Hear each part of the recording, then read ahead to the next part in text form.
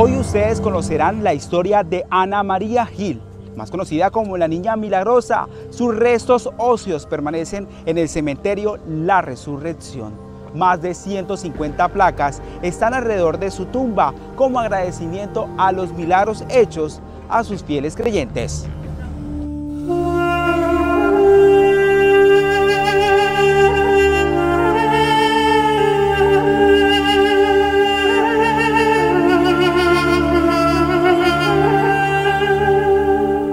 Cuenta la historia que la mañana del 19 de enero de 1975 Ana María Gil se encontraba departiendo con su familia en un paseo cerca al río Magdalena en el sector del muelle. Las versiones del lugar han sido diferentes, pero lo cierto es que esta menor de 14 años de edad murió ahogada y tres días después fue hallada su cuerpo sin vida, pero su estado no estaba en descomposición. Él era el cuerpo de una joven intacta, a partir de allí nació una leyenda. Eh, la historia de ella, eh, pues que he escuchado sobre ella es que ella se ahogó en una antigua rampla y pues fue sepultada ahí donde estaba antiguamente el cementerio, ahí en el Parque La Vida. Eh, la gente empezó a pedirle muchos milagros, penitencias, así, muchos favores. las plaquitas que puedo observar ahí son de los favores recibidos a los familiares y pues desde entonces se trasladó para acá eh, un señor que, le, que es fiel seguidor de ella, le mandó a hacer ese monumento. Yo lo ayudé a construir, le metimos los resticos ahí, un cajoncito ahí en la parte de adelante, ahí están metidos. Y, y hasta el son de hoy hay mucha gente que todavía le pide. Flores, placas, medallas y mensajes adornan el altar que se impone a su memoria en su tumba ubicada en el cementerio La Resurrección. Y después hay personas que han ganado y han venido y nos han comprado en gratificación y le llevan los ramos de flores.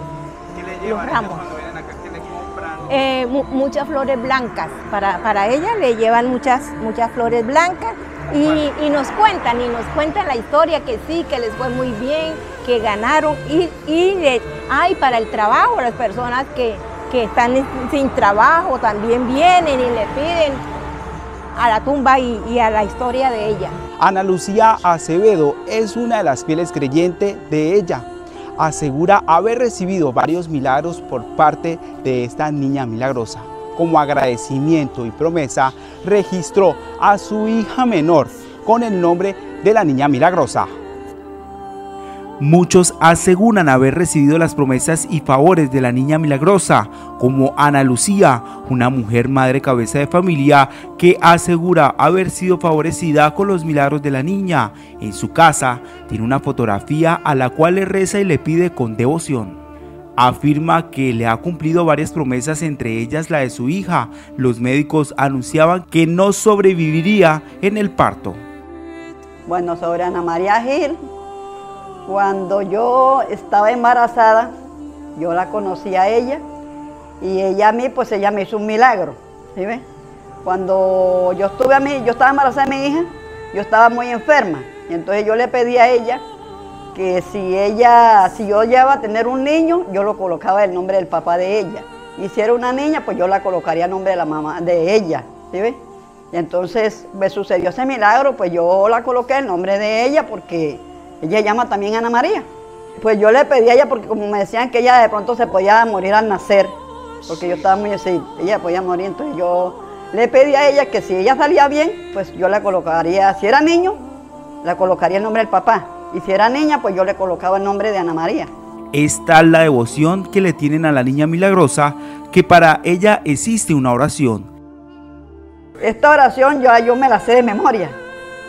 ¿Sí ven? Pero es que me da pereza, me da pereza rezarla. Pero yo me la sé de memoria, que es la oración Ana María Gil. Oración a la milagrosa Ana María Gil. Oh alma bendita y milagrosa, tú que en esta vida fuiste humanitaria con el pobre y necesitado, y que esto en la otra vida alcanzaste de Dios Padre Todopoderoso, la gracia y el poder para hacer y conceder los